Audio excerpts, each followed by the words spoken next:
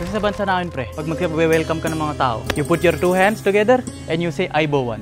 Number one. Aibowan, Aibowan. Aibawan. Aibowan. Aibaw. Binelcome mo na yung viewers mo. Ang ngayon gagawin natin ngayon dito ay patatas. Kilala mo si Spadman. Taga UK siya, pre. Sobrang sabog niya sa TikTok ngayon. Kumikita ng 10,000 pounds a month sa pagbibenta ng patatas. Softball fans, how we doing?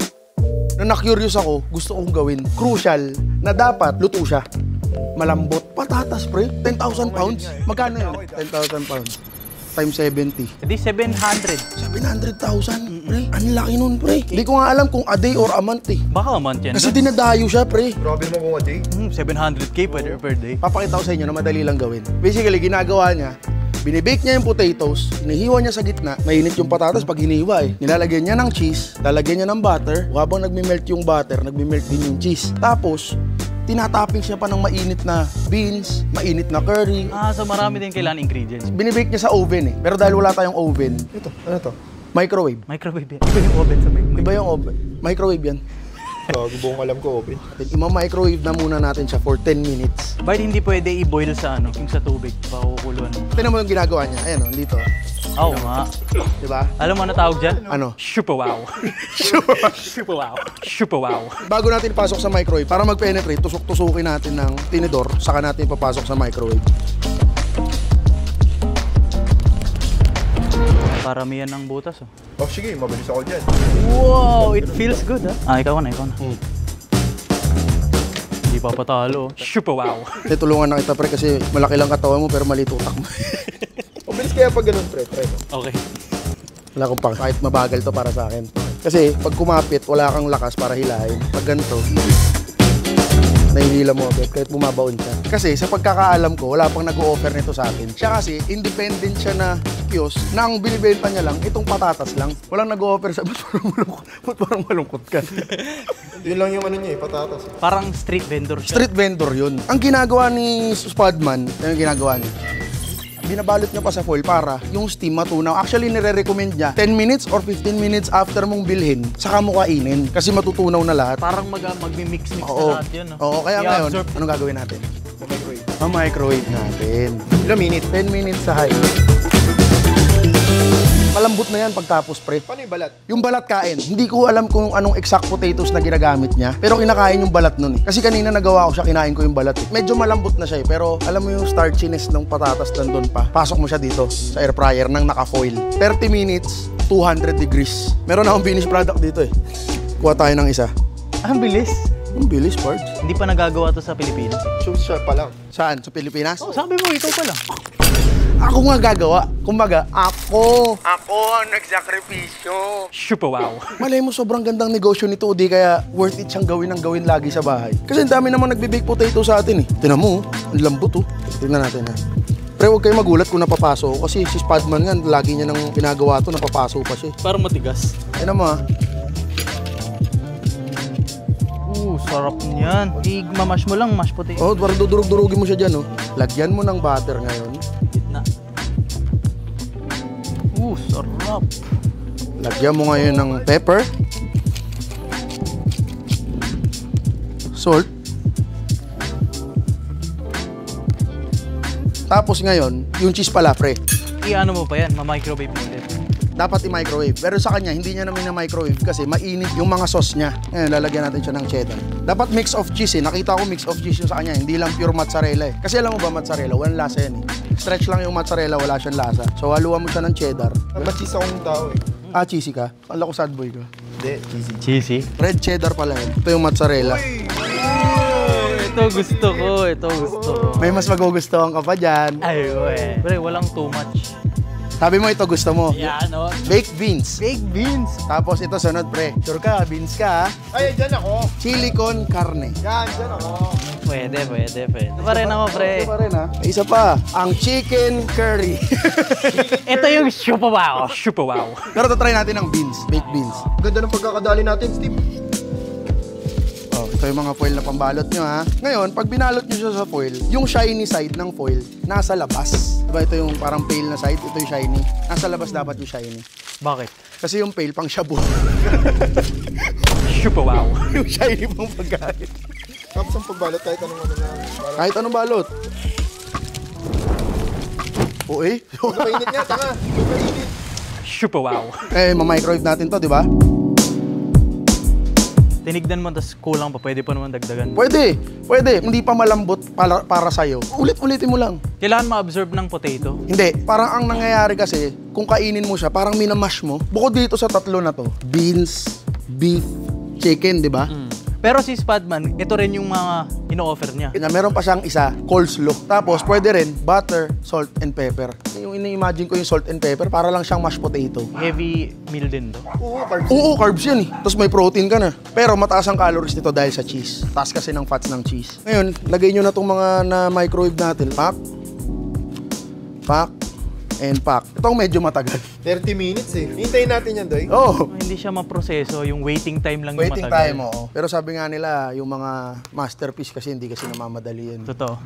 Katulad ako, 9 months din akong sinalo ng nanay ko sa tiyan niya eh. Kasi sabi ni Lord kay mama, hintayin mo lang. Magiging maganda at magaling yung anak mo. Paglabas, yun. Na-disappoint na na yun. Super wow. Yan na. Malapit ng malo to. Natunog na lang yan bigla ng Malapit ng malo. On taste test. Super wow. Super wow. Tangina pare, ang init. Aray ko pare, mainit. Tangina mo! Yan na kayo. Uy, gagi natunog. Super wow. Masyado natin natagalan. Sumabog yung cheese. Tinan nyo ha. Handa na ba kayo? Handa na.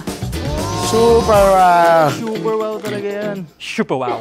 Bro, legit naglalaway yung bibig ko. Ako naglalawa yung puwet ko eh. Kono? Kon? Super wow. Pakina, Mainit, mainit, pre. Mainit, gago. Wala ko susubo nyo kagad.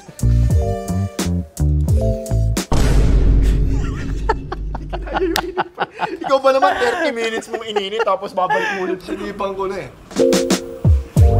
Kasi nga, kamayin mo nga. Ano yung patatas oh. Sarap. Oh, M sa ito, M. Hindi, gawin mainit pa. Ipa mo na lang.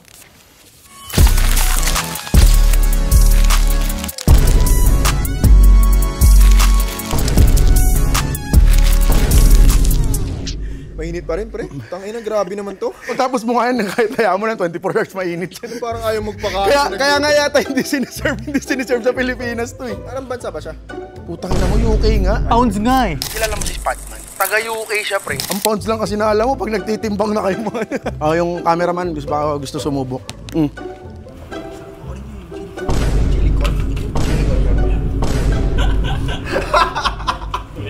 Di ba? Di ba? Pero sarap bro. Di ba? Solid na combination. Solid. Okay, gumawa next. Kumuha ka na dito ng patatas. This time, babaguhin natin ha. Ang gagamitin mong total na patatas sa isang serving, one and a half. Ah, ikaw naman pala, ikaw mala. Mas matalino ka eh. One and a half palang binibigay, nagbilang, nagbilang na. One and a half. Nangungulubot. Parang betlog. Huwag mo ganyan, tusukin mo muna. Uy! Bobo! Bakit ganyan yung pagkakain? Yan, tapos buklatin mo siya. Ay, teka, teka, Yan, teka. yan, yan. Kaya pa. Mas maganda ako may ano, para Para marami. mas marami. Pinapanood ko nga yung video niya, pre. Parang gantong ganto. Siguro kaya pala auto madali siya. Kasi mainit. Parang ganyan siya gumalaw. oh. Ay, potato mushroom. Sarap. Ayun, pre, portion-portion natin yung butter. O, Steve, ikaw tumuloy. Feeling ko okay na tong Okay na butter. yan. Oh, sige, okay na yan. Oo, okay na yan. Wow! Salt Bay! Super wow. Super wow. Super wow. Unti maglagay, oh. Hanggang ngayon ba, nasa 30-day challenge ka pa rin?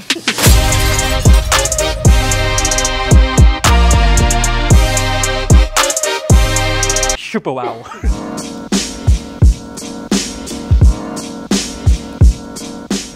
Yan. Eat the chicken curry. This is a very super wow. Uy, wag mo tipirin, Lord. Yan.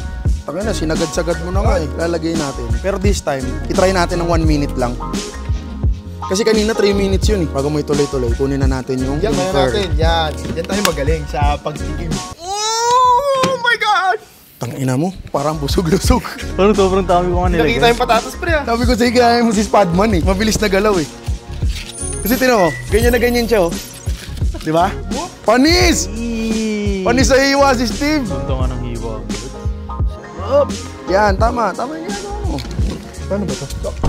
Gago ka. Ay, no, sobrang lakas mo kasi. Ang ina mo, pinersa mo, ginawa mong barbell. Squeeze lang yan, di yan wina-workout. Ang ganda, hinati pa sa ano. Galing na ano ha, hindi nagpapatalo ha.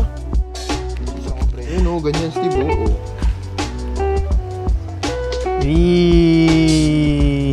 And then, the final piece. Pag sa topping wag ka mag, wag na wag ka magtitipid. Tama. Tsaka yung beef na yan, 80-20 yan. 20% lang yung fat.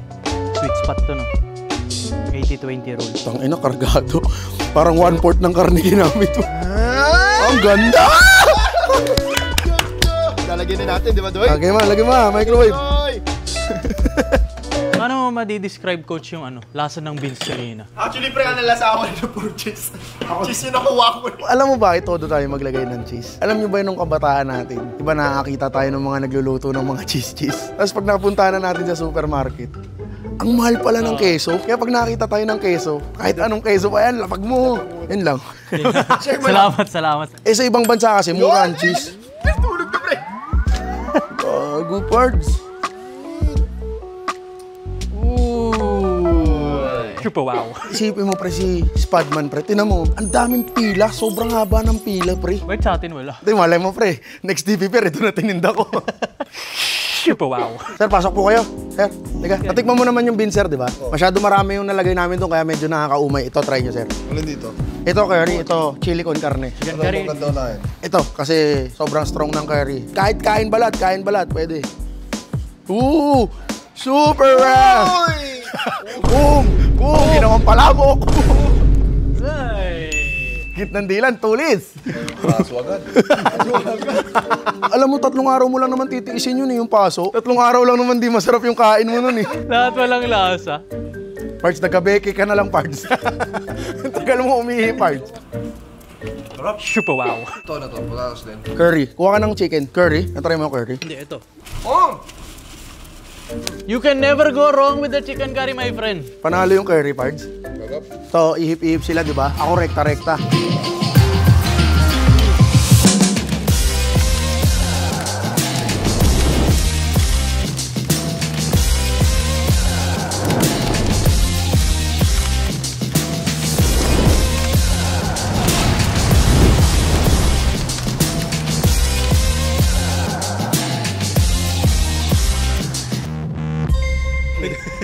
Tara!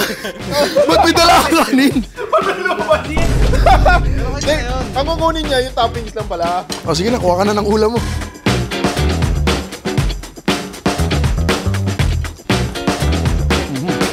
Lasang shawarma. Mhm. So ano masasabi mo? Ayos ba yung recipe ni Spadman? Oh, ayos. Ano siya, kakaiba siya. Kasi first time ko makatikim ng ganito, hindi naman siya yung ano, weird sa akin. Kasi tayong mga Pilipino naman, madalas naman tayo magpatatas. Ang verdict ko, kung wala kang time, bilhin mo na lang. O, ang hirap gawin eh. Pero worth it siya. Ang sarap eh. Hindi ko lang ma-imagine paano po si Spadman, pre, na araw-araw niya ginagawa to. Kaya nga siguro Grabe, salute, salute yun, pre. So bali yan yung ibibenta mo sa next TV Fair. Oh, ang haba ng time oh. Tangin ang haba ng pila nun. Pag ito binenta mo, tagal nila maghihintay. Tapos ito lang dala mong microwave din. Teka, ano gagawin? Salamat tayo sa pagsama sa amin sa show na to. Thank you, Dodot Lang, for always having us occupied with all of these delicious foods. Para alam nyo lang, after ng mga ganitong vlog niya, sa bahay, dami na namin pagkain. Talagang busog-lusog kami. Guys, bye-bye po. Maraming salamat. Please like, comment, share, and subscribe. Sana Del Monte, Nor, tsaka Live Blue, Paracetamol. Kunin niyo po